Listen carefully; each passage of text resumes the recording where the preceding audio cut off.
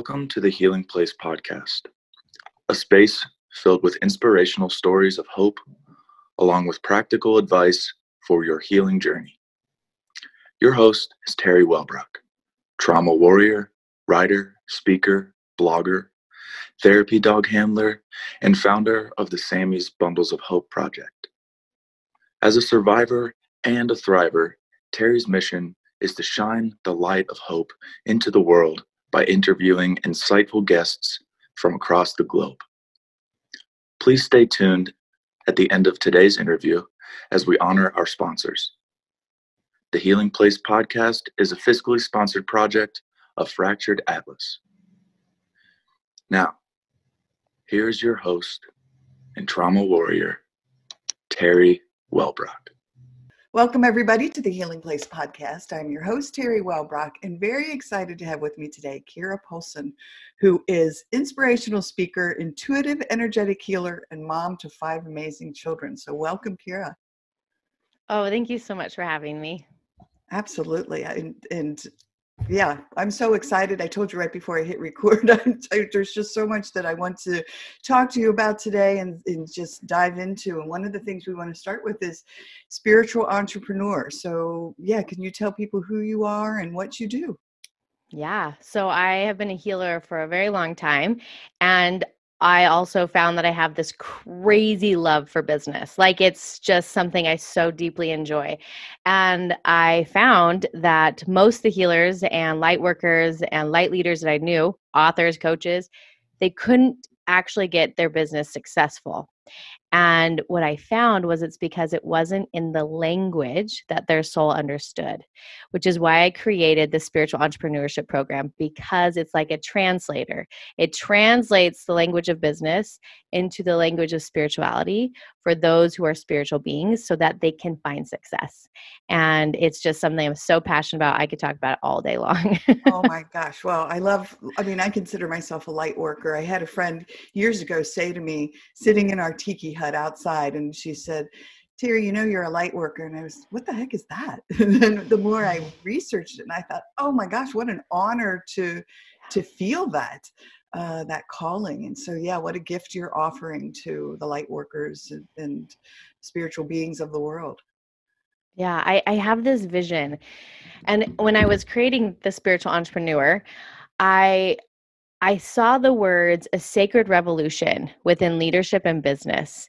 And I saw that if all the healers and all the light workers and all the leaders who were guided to bring light to this world found success in their business, that would be the new realm of leadership. That would be a new wave that happened on this earth. And so that's why I get so passionate about helping these leaders of light create success in their business. Beautiful. I get goosebumps on my head when you said that. Isn't it beautiful? When that came in, I was like, oh my gosh, that's it. yeah, that is beautiful. I love it.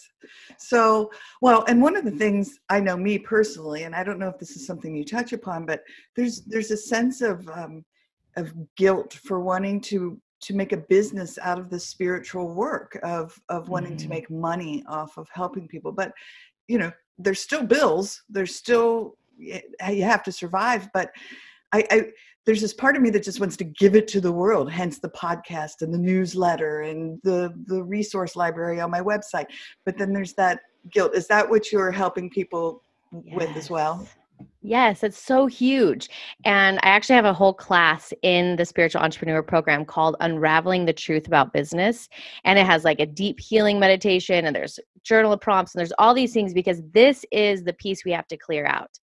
Because the reality is, is if you are making money, that means you are serving right? So the more money I make from my business, the more people I'm impacting. And there's something really interesting that I've seen as I've done a bunch of different offerings in my business. The ones that I offer for free or really low priced, the people don't take the class. I slap two grand on a course and every person shows up to every class. So it has nothing to do with me making money off of my my gifts. It has everything to do what's going to get people to participate. And it's always when they've got a little bit of skin in the game. They've got to put something in oh, yeah. to show up. And so when you start to view business in that way, like I'm actually not serving when I charge $59 for a course because a thousand people might sign up, 10 are taking it. I can view 10 people are taking it. How many times have you bought something for $27.99? You're like, I'm going to go back and take that. And you're like, never took the class. But if you if you spend a few thousand dollars, you don't miss a class, you don't miss a Zoom call, you are committed, right? Yes. And that's that's what we want to shift for these healers is like, no, you're not making money off your gifts. You're serving by charging money because now people are going to get impacted. yeah. Beautiful way to look at it. Yes. And so Mhm. true. Oh my gosh. Yeah. I love it. yeah. It So is, it's true. So what is this? What is the program? I mean, what this is it a coaching? Is it a course? So I like to think of it like um, an all-inclusive trip, right? If you were to go to Cancun on all-inclusive, everything's included. You like pay one price and everything's there. It's like going to Disneyland. That's how I feel this is.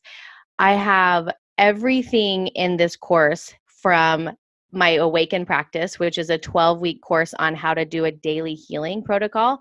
This is essential for a successful business. If you can do daily healing work on yourself, you're not going to get in the way. You're not going to get tripped up by self doubt. You're not going to get tripped up by fear because you can just do healing work through it, right? Right. So it's got the healing work and then it's got, I don't know, 10, 15 classes on the spiritual tools because I have a lot of weird tools. They're like the things that, like, I'm very ritual, I'm very like sacred space, uh, talking with God, letting God guide my business, allowing the divine to be a part of my business, my work. So I have all these tools to help navigate business spiritually. And then I have a third part, which is all the business tools. So if you want to write a write a book and you want to publish it, I actually have a whole class on how to spiritually write a book and what's the business around it. And I own a publishing company, so you automatically get a discount and you can publish your book through my company, Freedom House. And then I've got a whole class on how to launch a podcast. How do you spiritually create a podcast? How do you launch a podcast? And because I know so many spiritual beings struggle with tech, I Zoom call the videos of me showing them how to upload their video to Libsyn, how to get the, show notes on. Like it is like, I mean, I have five kids, so I know how to step by step teach things very simply because I've had to do that with my kids. And so I just do that in this course. Like tech, so simple. Then I have a whole class on how to write a digital course spiritually and business wise. How do we launch it into the world? How do you get your videos? How do you shoot videos? So I have a whole class on how to shoot videos, edit videos, put your videos into your member course. Like everything you could ever need is in this course. Plus, you get two coaching calls a month with this group of women who are just amazing. Like, women are launching books, launching podcasts, launching courses, retreats. They're just doing so many high action things spiritually. Yes. So, we meet, we have a Facebook group, people are in it all day long sharing what they're doing. It's just, it's everything to fully support light leaders in the success of their work. Yeah, I love it, and I love everything that you've said. And I, there's now I want to go sign up for that. It's so fun. the course part. I love that idea. I mean, that's just that's next on my list is to create a course. But and Yeah. interesting that you said about the the podcast um, showing someone how to become because I, I had talked to somebody that was referred to me um, by a previous podcast guest, and this person reached out and said, "You really need." And she's a medium, and she said, "You really need to create a something that shows people how to create a podcast because." You've done this, you've walked through it. And I was laying in bed last night, how crazy, and thinking, if I did that, I'd have to show them like like on a share screen, like how to go to this, how to upload here, how to create the blog, how to and that's so funny you said it. So I love it. I love that you're Yeah. doing it. Yeah. It's so it's so needed because I realized because I I created this course because I was one-on-one coaching with so many women. And in our coaching calls, I would be telling them how to be setting up a podcast and I was like, oh this is horrible. I don't want to be spending my time doing this. I want to be coaching them. And that's when I was like, oh, I've got to make a course that I can send everybody to the video so that when I'm coaching, we're like deep dive doing amazing work, not just this technical stuff Right. that they're going to really want to rewatch.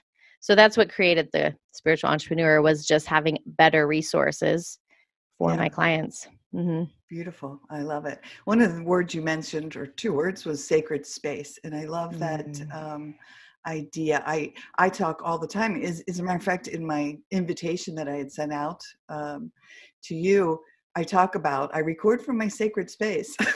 it's just the space I've created for myself that that's surrounding. You can't see what I look at. Um, But there's just so much inspiration and beauty and hearts and all the things that uh, inspire me. Is so is the sacred space a physical space that you create, or are you talking about sacred space within your being? So I actually have a seven day class within the spiritual entrepreneur, or people can just actually go to my website and get the seven day sacred space class. It's super cheap and it's amazing. It's the groundwork of everything. So any client who starts with me, anybody who starts a spiritual entrepreneur have to go through that class because it is about finding a physical place in your home or on your land how to spiritually dedicate it. So I, I teach how to spiritually clean it, how to spiritually dedicate it to the work of communing with the divine how to put things in it that you love. And and i tell everybody like my we moved to this tiny house in idaho so we could live on land. And i didn't have a space for sacred space so i did it in the middle of a grove every day of my life until it got too cold.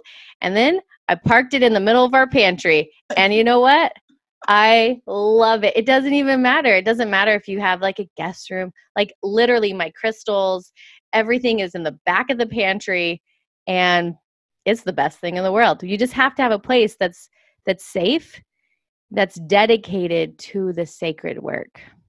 Yes, I love that idea. I just got the hiccup. Sorry, just No, you're fine. if suddenly I'm doing that, might have got, it might have been a one time. But it, I mean, the pantry that just sounds cozy. It sounds comfortable. it sounds yeah, yeah, it's lovely. Mhm. wonderful, awesome. All right, so you have a book that we're going to Yeah. talk about a little bit, uh, "Rise and Awaken." But there's more to the title. So what is that? Yes. It's called Rise Up and Awaken to the Up. Joy of Being Human. And it actually it's right now it started in a Kickstarter. and as a true entrepreneur, this morning I woke up in my sacred space and the divine showed me it is not being printed at the right location. So I'm actually stopping the Kickstarter and it will launch again in January. So the book will be available in January. It's it's a journal and that's why it's it needs to be printed at the right location because oh guys it's so beautiful i hired this art- artist who's just magic and so every page in this book is created to actually activate joy in your cells. So just looking at the pages i want it to bring back memories of joy. So there's all these amazing images that people have all had that's going to help them remember joy. There's all these beautiful poems and then there's a guide at the beginning, chapter one through six, that teach the principles of how to rewire your brain from suffering to activating joy. And then there's a whole 30 days of morning and evening journal prompts and mantras that are actually designed to help you let go of suffering and start to create the new patterns in your brain to feel joy every day. Beautiful. I, I've talked about it often on this show and brain plasticity and that rewiring and uh, what just what a gift. Forever, I thought I was broken and not fixable, and till I came across well EMDR therapy, but also brain plasticity and. I thought, oh my gosh, this is where the hope lies because we can rewire those neuron pathways. Yeah. Yeah. Oh, EMDR was my saving grace as well. I so grateful for that uh, that format of healing, and and so this book I I told you I just published it this week, but then I I'm really following the guidance I'm receiving that I want it to be in the most beautiful packaging for people. There's something about the care, right? Like so one time I went to this retreat and it was for survivors of sexual abuse because that was something that I dealt with as a child. So I went to this retreat for survivors. And I remember that it was in the it was in the details. It was in like the softness of the sheets, the softness of the blankets, the flowers that they laid out for us, like the slippers that were given. Like it wasn't the we were staying in this mansion. I mean, it looked like it was, you know, for movie stars. So, yes, we're in this grand place. It wasn't the grandness, it was the details where I felt so loved.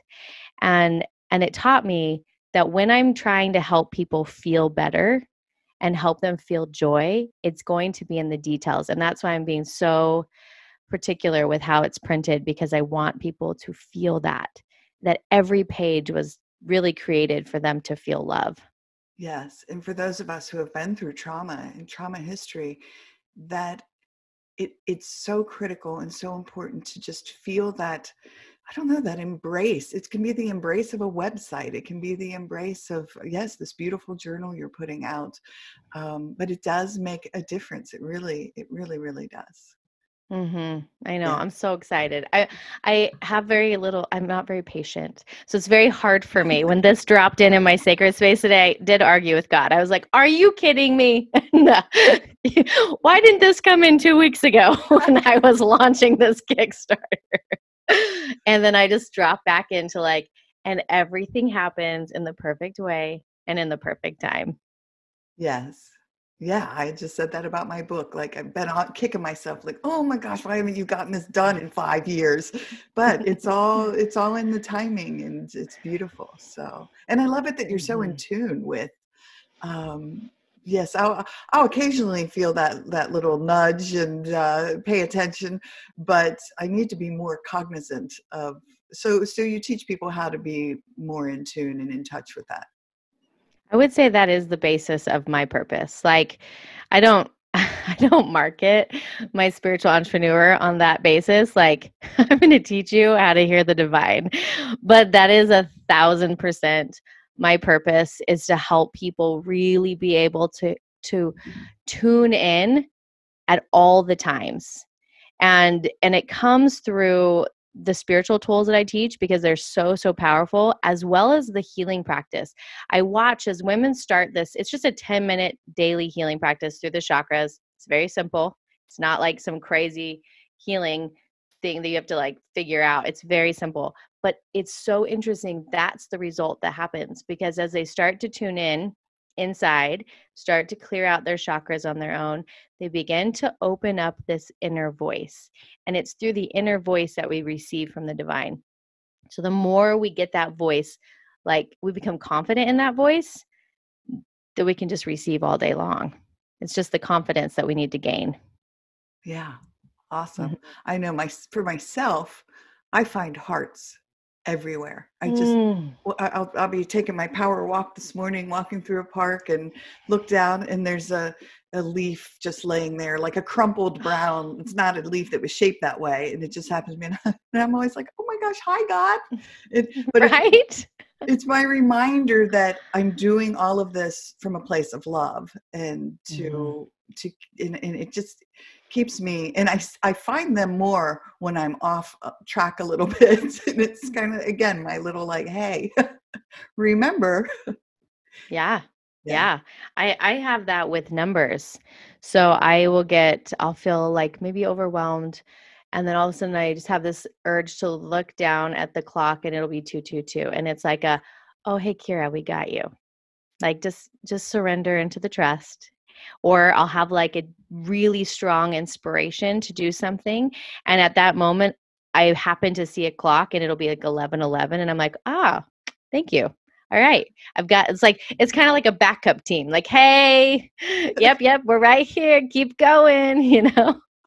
I love it. And and I have also done the number thing where I see the repetition of the numbers and I just again I, I've felt the same thing, kind of like the angels are like, okay, come on, that's right. Stay in that direction. I love it. Mm. All right. So, um, yeah, anything else that you wanted to touch upon? Let me sit for a second and see. I love where, where we've gone.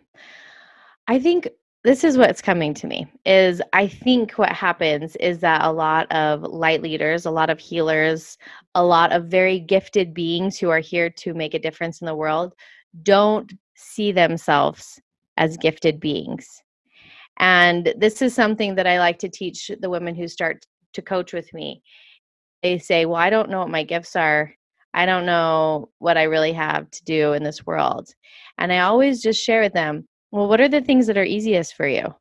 Like what comes super easy? And uh, for example, one woman was just like, well, like I just, you know, I can see magic in every child. Like I just see it. People can bring me like really, really hard kids and I just, I see what's in them. I see the magic and I can help their parents, you know, see it. She's like, but that's so easy. Everybody has that.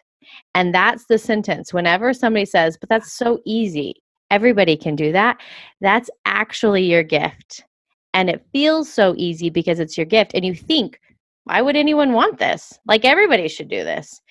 But the truth is, is that not very many people can. And that's where we build your courses from. That's what we build your books from. We build off of your innate divine genius. And then it's so easy. That's why everybody who runs through my course, they leave with multiple offerings. And it's because we're never going against the grain.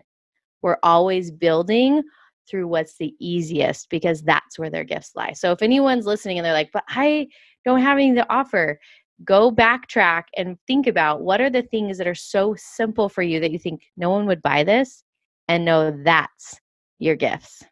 Yeah, I love innate divine genius. That's powerful. Yeah. Yeah. That was how, um, for the longest time, because a lot of my work is I just clear a lot of darkness out with light, and um, I can actually just go in and just clear some stuff out of people's bodies really quick. And I was like, everybody can do this. This is stupid. Why would I teach this to anybody? This is like the easiest thing ever. And then that's when I realized, like, oh, wait, that's actually just my gift this is my gift because it feels so easy. It feels like breathing to me. Like it makes so much sense to my brain. This is what I'm here to teach people. And that's when I really got like, oh, this is how we find our gifts. But it's like it's hidden.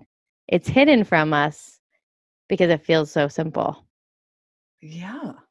Mm-hmm. Beautiful. All yeah. right we got my head spinning. I'm just sitting here stunned a little bit because uh, I'm like, oh my gosh, all these things that I do, and yeah, it's it's it's brilliant. Yeah, we think wow. things have to be hard, right? We're like, if I'm going to be successful, like one of the things that um, I'll share, women who've been in my program, they're about to launch a podcast, and like, oh, first episode's so hard. I need to do all this research, and I have to do all this, and I'm like, no, no, no, no, no, no, no no, we're doing zero research. you know everything about that topic. All you have to do is connect into the divine, call in your angels, and sit down with a mic and just see what happens. And whenever they do that model, they're like, that was weird. That was like the easiest thing I've ever done. I'm like, yeah, that's how it's supposed to be. We think it has to be hard, right? We're like, oh, I got to go get a life coaching degree. No, no. Like, you know what you're doing. You've been life coaching people your whole entire life. Yeah. All you got to do is start doing it now. you know, it's like we make things so hard. And really, when we work with the divine, everything's so easy. It just yeah. is. Yeah. I, I say I have a PhD in street cred. Amen. 100% right? Yeah. You've walked through trauma, you've walked through hard things, you have more credibility than anybody who went to school to learn about trauma. like you've been your everybody's life experiences is their qualifications for what they're here to do. Yes. Yeah, I love mm-hmm. it. That's amazing and beautiful and wonderful. And I keep saying, oh my gosh, this is amazing. but it's so true. yeah. Yeah, it's fun. Wonderful. Okay. So how do how do people get a hold of you? Where do they find you?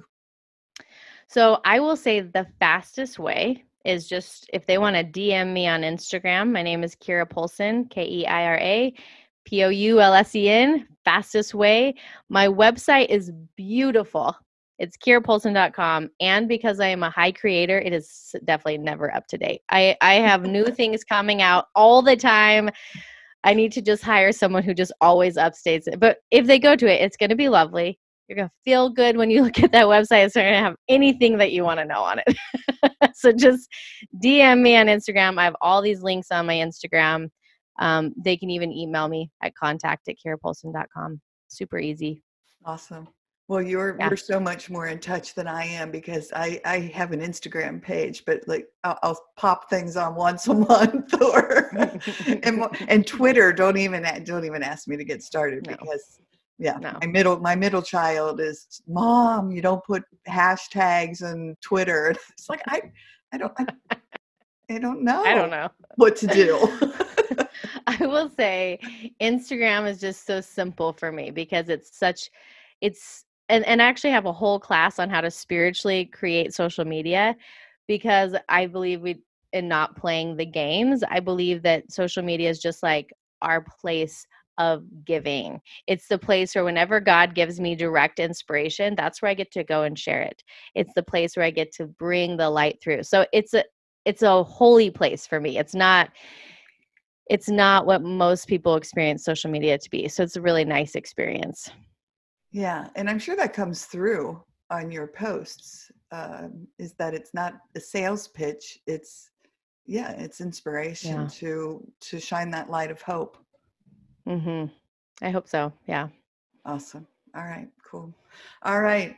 Well, how are we on time? Oh my gosh, we're doing pretty good. We still have like five minutes. If there's anything else that you want to uh, want to tap into, you know something. So okay, so I want to talk a little bit about Freedom House. So it's my publishing company that I created, and there is a website for that. That's freedomhousepublishingco.com, and I feel really passionate about this company because I am dedicated to only publishing books of light, healing books, self help anything that's going to actually bring light into the world.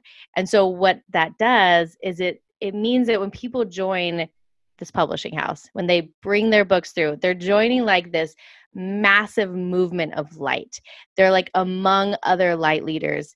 And I know a lot of people feel the nudge to write a book and then their brain comes in and they're like, oh, I can't do it. Who am I to write a book? I, you know, I remember when my first book came in three years ago, I was like, who am I to write a book? I've never wanted to be an author in my life. And that book was the beginning of so many miraculous events. It was my first time like co writing with God.